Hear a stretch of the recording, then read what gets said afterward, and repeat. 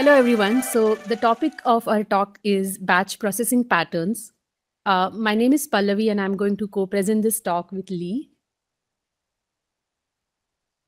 So before we begin, a bit about us. Uh, I have been working at Netflix for uh, five and a half years. I currently work on the security and platform data engineering team. Um, and I previously worked on the consolidated logging team for about five years. Um, and prior to Netflix, I have worked at Walmart Labs and eBay. And you can find my areas of interest on the slide here. Hi, and I'm Lee Woodridge, and uh, I've been at Netflix about a year and a half. Um, I'm also on the consolidated logging team, and I previously worked at Hulu and Uber. And uh, I'm going to jump straight in with some questions. So, who here has worked on an object oriented language before? Yeah, that's what I thought, most of you. Um, and who has heard of design patterns or this particular book? Good, good. so, these design patterns are used to give you a high level abstraction when you're working in an object oriented world. And what we're trying to do today is talk about some higher level abstractions that we've found for data engineering and batch processes specifically. So let me quickly summarize the journey that we went through on the data engineering teams at Netflix. Um, so a few years ago, as the processing jobs were growing in number, we found that there is commonality in operational issues across different processing jobs. Uh, we process billions of events per day, and handling data at large scale is not easy. Uh, this is when often straightforward, simple jobs got challenging uh, because uh, as the scale grew, we were not able to meet SLA, and cost also became an important factor. And we also found that different teams were reinventing solutions for similar kind of use cases. So after trying different approaches and solutions, um, so basically a lot of trial and error led to some new ideas. And we found some generic processing patterns that are effective. So our goal today is to kind of fast forward you through all the trial and error that we've had.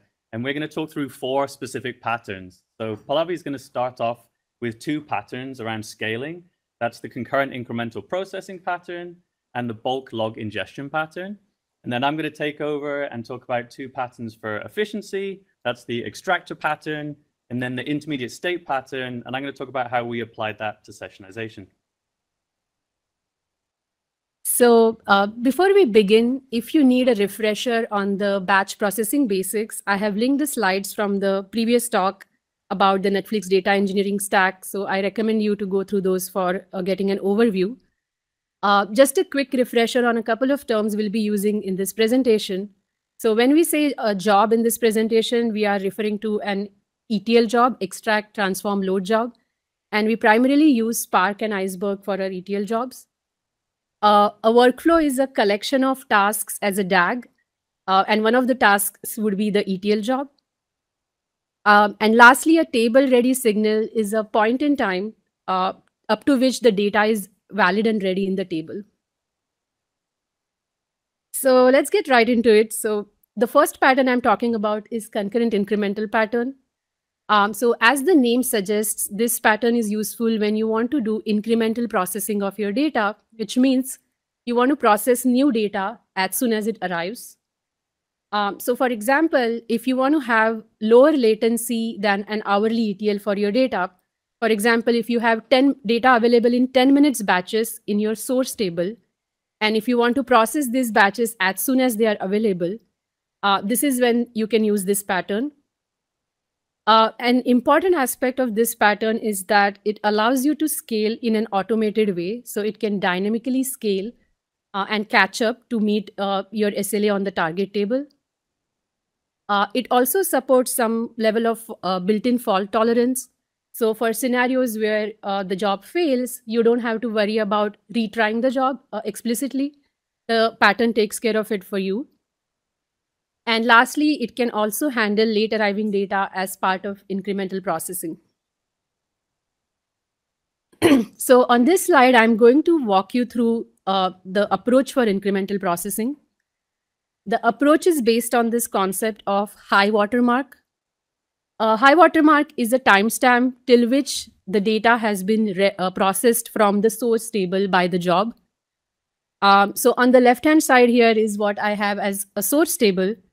And those rectangle boxes uh, under source table are represent the partitions in the table. Um, and we have this uh, timeline going upwards. So those green colored boxes are processed partitions in the source table and the white ones are unprocessed partitions. And that blue line uh, represents high watermark timestamp because it is the time until which the data has been processed from the source table. Uh, so for this approach, we use a shared table where we store uh, all high watermark timestamps for all the jobs.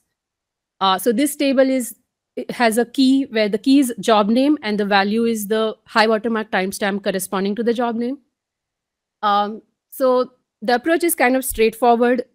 Uh, for the job that it is running, it will first query the table to get the high watermark times, uh, timestamp corresponding to the job name. Um, and then it will query the metadata store, which has a table partition metadata uh, to identify uh, uh, partitions uh, from the source table that were created after high watermark timestamp. So basically, it will retrieve unprocessed partitions from the source table. So for example, these white boxes here. Um, and then it will create a batch of these unprocessed partitions based on certain limits, and then process Spark data frame corresponding to these partitions uh, in a callback function. Uh, and the callback function will have the actual processing logic implemented by the job developer. Now, once the data is processed successfully, it will update high watermark in the table. So you can see the watermark has moved up now. Um, so we have implemented this uh, approach as a library, and I wanted to call out that there is another pattern built on top of this called Psyberg, which primarily addresses accuracy issues for late arriving data. And if you're interested in that topic, there is going to be a talk tomorrow on that one, so uh, feel free to check that. Uh, so let's see how concurrent incremental pattern is built on top of this. Uh, the shared table we have for high watermark, we cannot have uh, concurrent instances of the job reading and writing high watermark from this shared table. Uh, and that's the limitation. So to solve that limitation, what this pattern does is it has two jobs. There is a queuing workflow and there is a processing workflow. Uh, the queuing job is responsible for retrieving unprocessed partitions using the same mechanism that I described on the previous slide. Once it retrieves unprocessed partitions, it will publish them to a SQS queue. So it will publish one message per partition. Um, and then after it publishes the messages to the queue, it will uh, immediately update high watermarks so that the queuing workflow can continue running. Um, and then the processing job consumes partition information from this queue uh, and then processes the data uh, so the important feature here is the, the processing workflow. You can have uh, multiple jobs running concurrently and consuming from the queue, uh, and that allows us to scale. Um, so in short, by separating high watermark update mechanism from processing, we are able to scale. The pattern also supports two configuration parameters. So we can specify maximum number of partitions to process within one job and number of concurrent instances you can have within the processing workflow. Um, so this way you can scale it to your needs. Uh, now let's see how this also uh, has built-in fault tolerance. For that, it makes use of visibility timeout feature of SQS queue. Um, so on the left-hand side here, uh, in this example, let's say a processing job one comes up and picks up three messages from the queue. Now, while the job is in progress, it will mark these messages as invisible so that uh, another concurrent instance won't uh, pick them up and there won't be duplicate processing. Uh, now on the right hand side is a failure scenario. So let's say processing job one fails. In that case, these messages become visible again so that the next job instance can pick them up and you don't have to worry about retrying. Uh, and the happy path scenario is that if the job one succeeds, then it will remove the messages from the queue altogether. So there won't be duplicate processing. so let me summarize learnings from this pattern. Uh, this approach of automated scaling not only allows us to meet our SLA, uh, but it also leads to significantly uh, reduced operational burden.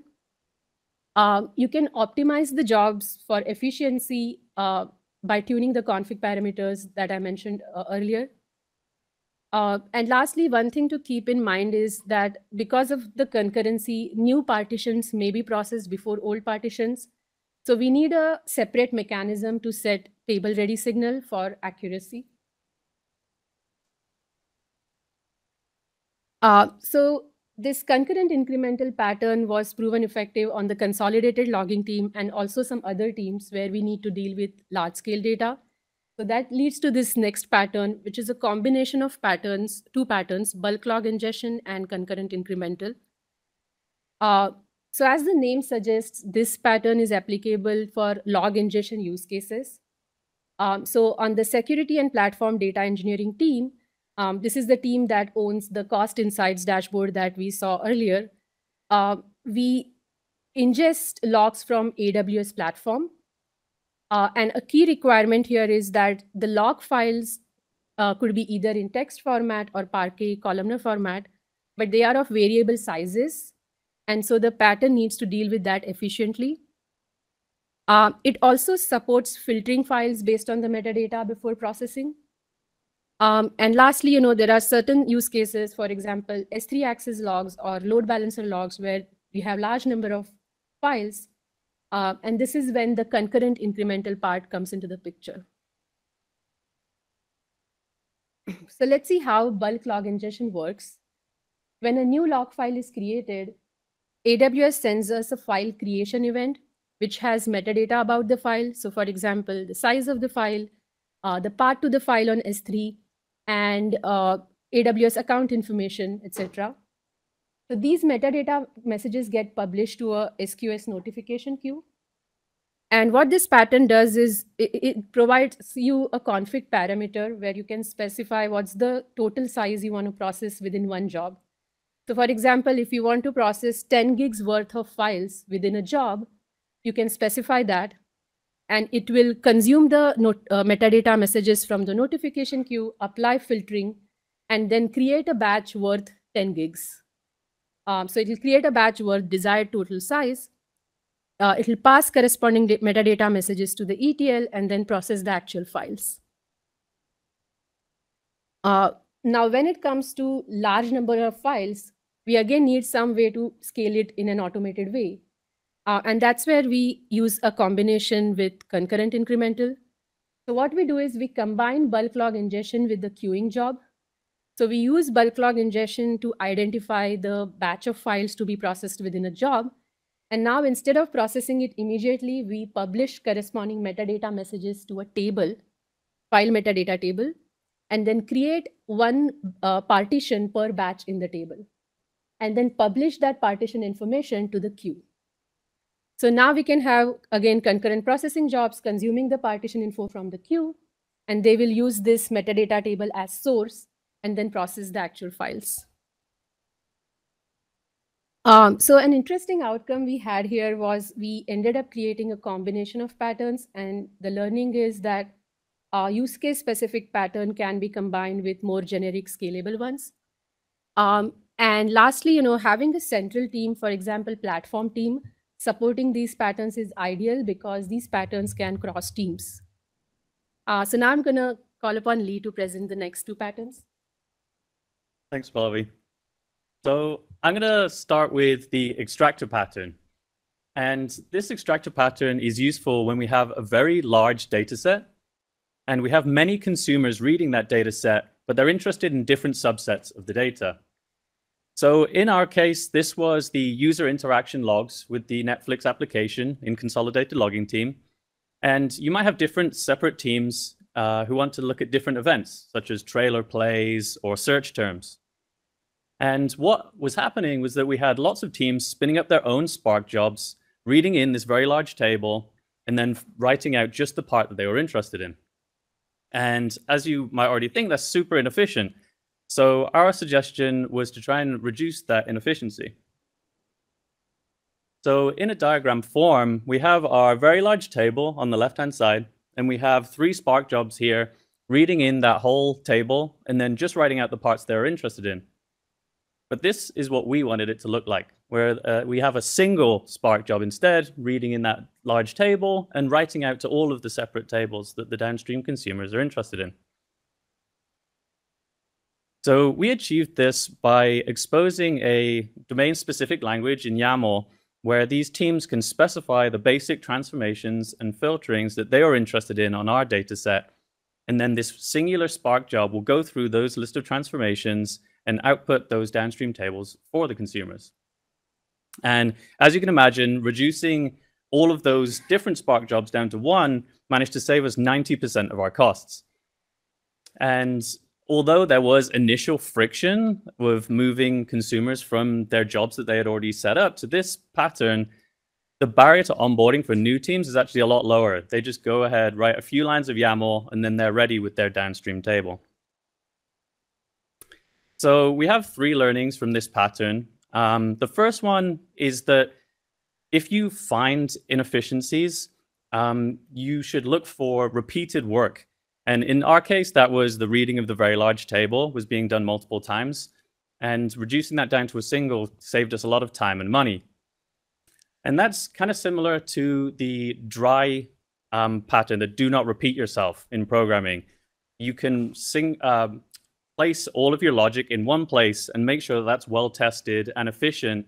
And that's gonna is what's gonna save you time and money. And after we applied this in the batch use case, we actually also found that this was useful in the stream processing world too. We had a very similar pattern where many teams were reading in our very large stream, which was the same data, and filtering out in different Flink applications. And we applied this um, in the same way, and now we have an extractor job for batch and an, extreme, uh, an extractor job for stream processing. Now, the second pattern that I want to talk about is the intermediate state pattern. And we're used to an ETL being defined as having an input, some transformation, and then an output. But in this pattern, we're going to add another table, which is storing some metadata that we uh, calculated in our job, and then we're going to use that in future jobs. so our team used this pattern and applied it to sessionization we have all of these uh, event logs that I talked about earlier, and we want to turn those individual events, like clicking on a movie or doing a search, and turn them into like an overview of the user's whole session. And in our use case, um, we defined that uh, after a 30-minute inactivity period, we would define that that session was over, and that's what we're trying to find out. When we started uh, thinking about how to implement that, we thought about doing this with a windowing pattern. So if we had a particular hour we knew was ready, we might read in the last day of data, sessionize all of those events, and then write it out. But you might think straight away is that, um, firstly, sessions can be of any length. So no matter how big we made the window, this was bound to fail. And also, sessions can start at any time of the day. So you would end up having to read in this large window every hour of the day, which would be really inefficient. So what we did was um, we would process each individual hour, sessionize the events that were just within that hour, and then save those sessions that are still in progress at the end of the hour, and then read those in in the following hour. And that might seem a little confusing just to describe on a slide. So I made a toy example to talk through. So along the bottom, we have our basic input Spark job output. But at the top is the unique part where we're going to store future data. So going into hour one, we have a bunch of events where each circle represents an individual event from a user, and the color represents the user who performed that action. The first thing we do is we group the events so that all of the events from a particular user end up on the same Spark machine.